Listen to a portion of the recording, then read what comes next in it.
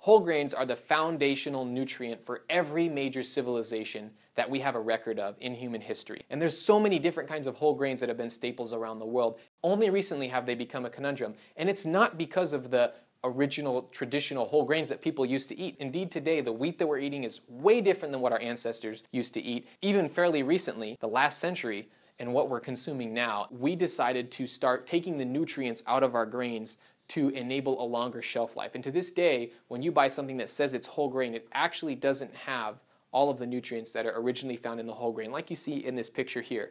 There's a very small portion of this whole grain kernel nutrients that your body actually uses, these sterols, to manufacture your own human hormones. Tre-en-en is the Greek word for three in one. All three essential oils that are found in whole grains, you have to have them all together to work and to function, to give your cells wisdom. If you were to take any one supplement, it wouldn't be vitamins, it wouldn't be minerals, it would actually be this nutrient because it enables your body to get the vitamins and minerals that you're consuming in your food or in your supplement and put them into your cells. Texas A&M showed that it increased nutrient utilization efficiency, enhanced overall growth and development, and enhanced cardiovascular development. It's able to bring in the nutrients and let out the waste through a healthy cell membrane. If you have an unhealthy cell, then the nutrients can't get in and the waste can't get out, and that's where that tired, lethargic feeling comes from, and that's where all the toxins that that are in our environment that are going into your body, they're actually stored in those cells. If you really want to feel a difference in energy, being able to make healthy hormones, but actually having individual healthy cells and changing the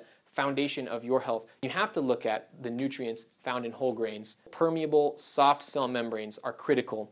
Tre-en-en is and has been the only complete whole grain lipid and sterol supplement since the 1950s. It has non GMO and gluten free ingredients. It's the world's first complete phytosterol nutraceutical. It was actually called a nutraceutical in the hospital study on chronic fatigue. And the sad thing is that this information is out there, it's available, but no other company is making a product that delivers these critical nutrients for the human cell's cellular nutrition.